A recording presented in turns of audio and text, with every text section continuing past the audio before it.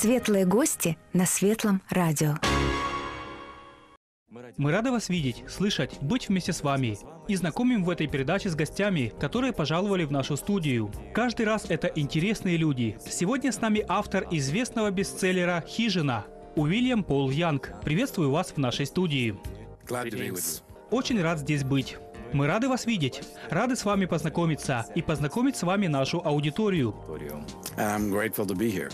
Спасибо. Кстати, мы единственная в Украине музыкальная христианская радиостанция. Ah, wow, I didn't know that. It's great. It's an honor to be here. У нас є Для меня честь быть здесь. У нас есть целые часы, когда звучит только христианский рок в эфире. Wow. Говорю об этом совершенно не случайно, потому что знаю, что вы работали на протяжении четырех лет на радиостанции. Yeah, secular radio actually, rock and roll. Да, это было светское радио. Рок-н-ролл, They do Christian rock. We did rock and roll. христианский рок и рок-н-ролл. Радио для вас не просто средство информации, не масс-медиа. У нас вопросы не только связанные с вашей книгой. О ней будет много сказано на выставке. I don't mind at all. Я не отрицаю, ее можно прочитать, а вот пообщаться с вами это сможет не каждый телезритель и радиослушатель. Поэтому вопросы к вам будут более личные. Absolutely. Вы всегда пребывали в жизненном поиске. Вы занимались инвестированием, страхованием, издательством, потом бросили это, снова вернулись. Чем это можно объяснить? Что вы постоянно ищете себя и сейчас пребываете на этом пути. в цьому шляху. Well, you know, what one does doesn't define wh- who one is. And I think there's always a journey that's, uh, regardless of what you do with your life as far as uh, work or occupation. Я думаю, что не надо начинать с того, что мы делаем, а начинать с того, кем мы являемся. The thing that matters is, is beyond that. It's, uh, it's the journey of the heart, it's the journey of the human soul. То, кем мы являемся, это путешествие. Путешествие нашего сердца. Путешествие нашей души. And that involves uh, much bigger questions, you know, who is God and, and how do I fit into this universe and why do I even matter as a human being? Я думаю, что вопросы, которые мы можем здесь задать, самые глубокие, самые широкие. Вопросы о Боге, вопросы о нас, как личность, творения Божьего. Это настоящие вопросы, которыми проникается человечество. А, Пол, е, Пол, на самом деле, с чего начались ваши отношения с Богом?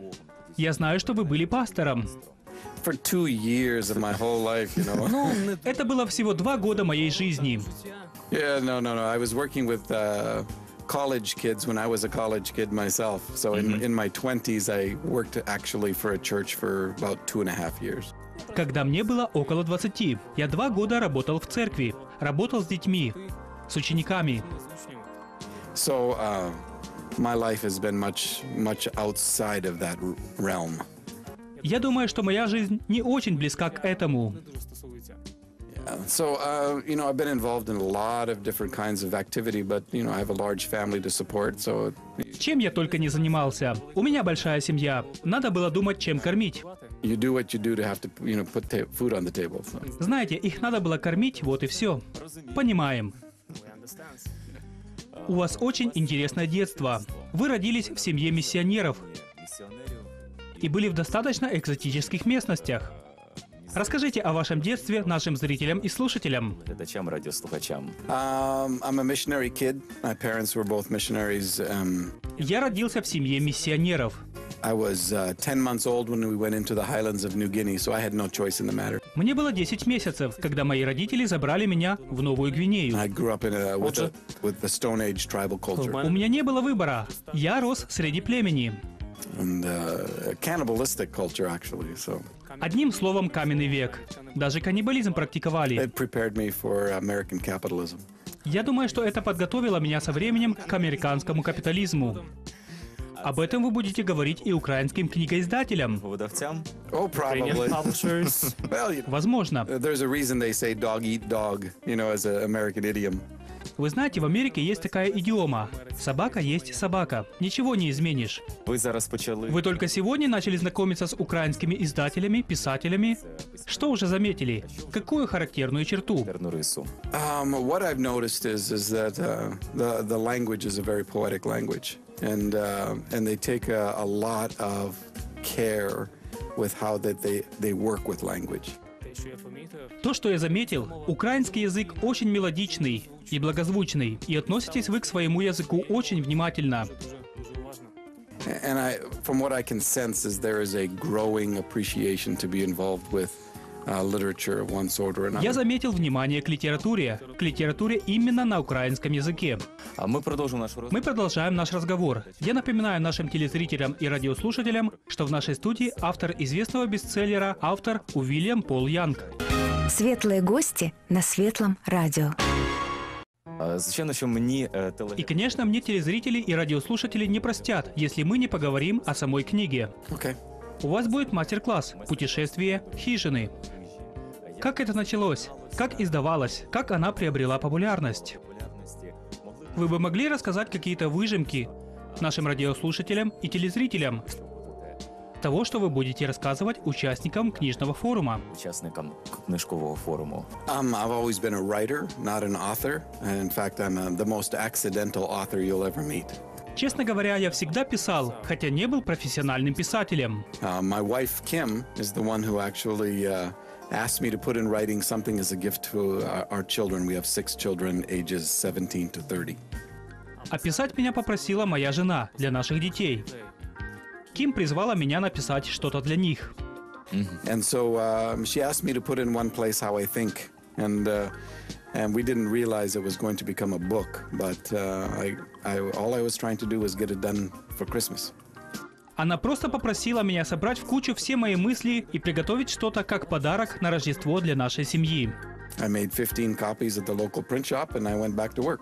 Честно говоря, я сделал всего 15 экземпляров, 15 копий. My yeah, my friends kept giving it away, and it ended up in the hands of someone who uh, thought it could become a movie, and that's what started the conversation about publishing. А далее распространять книгу помогли мои друзья. Они даже думали о фильме. 26 publishers said no. So two people I know created a publishing company just to publish the book. Нам отказали 26 издательств, и потом мои друзья собрали средства, сделали свое собственное издательство, и таким образом появилась эта книга. And everything else is, uh, well, everything's sort of a miracle about this. It's been a. God thing. Я думаю, что это похоже просто на чудо. In the first 13 months, we spent less than $300 in marketing and advertising and shipped over a million books. Приблизительно за один год мы потратили всего 300 долларов. Однако было продано более миллиона экземпляров. And uh, it's uh, become a worldwide phenomenon, none of which we expected. Мы не ожидали, что эта книга станет таким мировым явлением в мировой литературе. The, the book did everything that I wanted to do when I made 15 copies. So all of the rest of this is, uh, you know, the work of the Holy Spirit. Книга такова, какой я хотел видеть ее, когда распечатал 15 экземпляров. Остальное — это работа Святого Духа. Now, the Ukrainian version actually is the 41st language. На самом деле, украинский язык — это уже 41 в мире, на который переведена книга. Я очень рад по этому поводу. Мы также рады, хотя во всех литературных справочниках, когда готовились к эфиру, сказано, что ваша книга переведена только на 37 языков. То есть следует отметить, что уже 41 язык — украинский. Светлые гости на Светлом радио. У нас продовжується розмова. У нас продолжается разговор с гостем в студии. Эта книга еще до того, как мы начали анонсировать в эфире нашу с вами встречу, было такое небольшое обсуждение. Узнали, что у книги не всегда одобрительные отзывы. Она резонансная. Well, overall, the response has been incredibly positive. Вы знаете, вообще редакция была позитивной. But there's been a certain group of religious people that have had some problems with the imagery that's used in the book. Но однозначно была группа таких религиозных людей, которым было очень сложно понять образность, которую я использовал.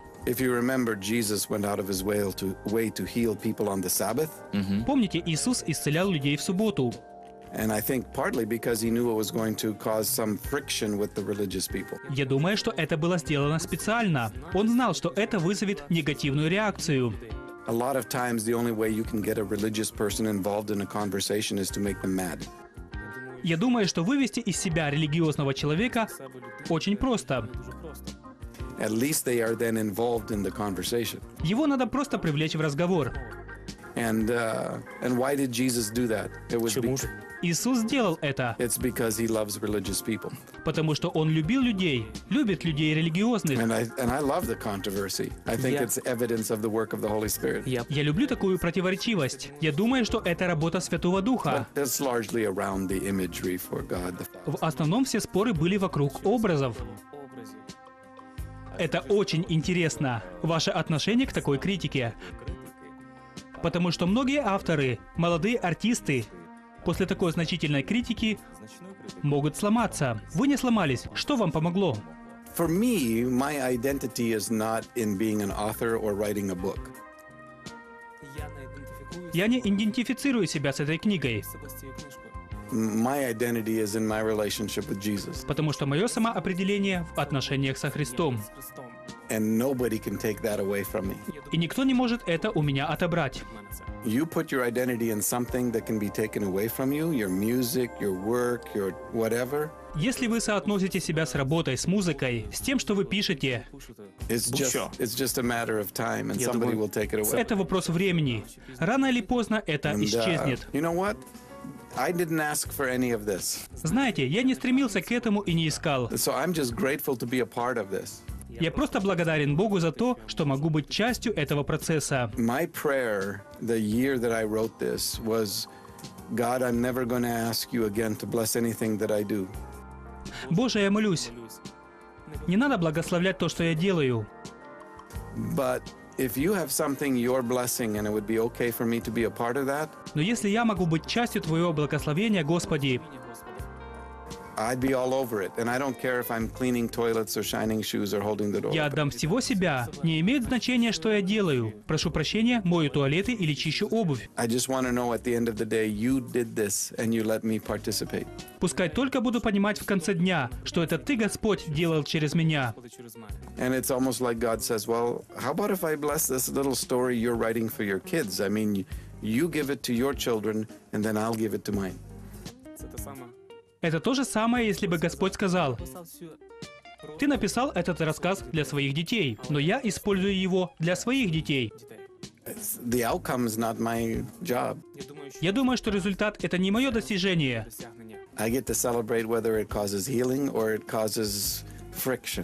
Не имеет значения, приводит это к спорам или наоборот, исцеляет людей. Это Божье дело. Success isn't defined by the outcome, it's defined by the process itself. На самом деле успех нельзя определить в рамках того, сколько экземпляров было продано. А а только как Божье дело. справа. I was already successful as a human being and significant just because of who I am, not because of what I do. Как человек я уже достиг успеха. Не потому, что я это делаю, а потому, что Бог делает это через меня. Знаете, я до сих пор перечитываю биографию нашего гостя, которая сложена не только Invictory, но и другими справочными форумами и ресурсами. Он сейчас у нас в студии. який зараз у студії, Уильям Пол Янг. і як Просто удивляюсь. Колледж, церковь, семинария, обучение, бизнес, инвестиции, книга, рождение детей и так далее. і так далі. Я не знаю, как гость успевал. Я думаю, что хоть немного мы сможем научиться у нашего гостя. Від нашого гостя Но время неумолимо. Мы заканчиваем наше интервью. Я хотел бы спросить, что бы вы хотели пожелать нашим радиослушателям и телезрителям, которые смотрят нас во всем мире? вас по всьому світу. Well, you know, as a culture, um, this part of the world has come out of its own great sadness. Вы знаете, я должен сказать, что эта часть мира, Украина, прошла через свою большую скорбь. І сум. And I would wish the same for here as I would for anywhere, and that is that uh, we come into a greater and greater authenticity, both as human beings and in our relationship with Я бы Father, Son, and пожелал бы- Holy И Spirit. я бы желал украинцам то же самое, что желал бы всем другим. Просто найти себя. Быть настоящими. Настоящими с собой. Настоящими с Богом. Every, every human being matters. Потому что каждый человек значим. Значення. And Jesus says, you know, I'll, I'll leave the 99 just to go find the one. Иисус сказал, оставлю 99, пойду, найду одну овцу. Я думаю, что вы это овца, и я также. И Бог добр, Он на нашей стороне. Он проникается деталями нашей жизни.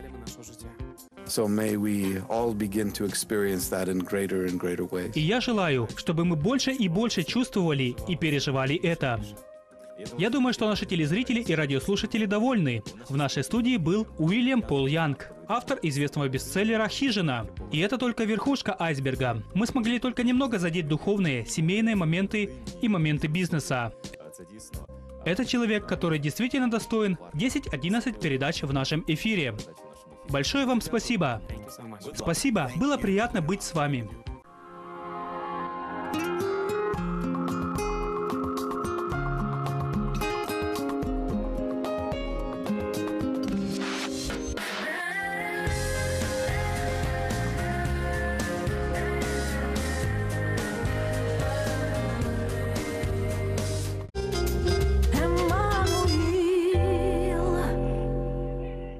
Обязательно должен услышать единственную в Украине музыкальную FM-радиостанцию уникального формата. Авторские программы, ток-шоу в прямом эфире, новости, программы для детей и проповедь Слова Божьего. Радио «Эммануил» объединяет своих радиослушателей для служения благовестия и помощи пожилым и одиноким людям. Регулярно посещаются детские дома и интернаты. «Эммануил» значит «С нами Бог». Ви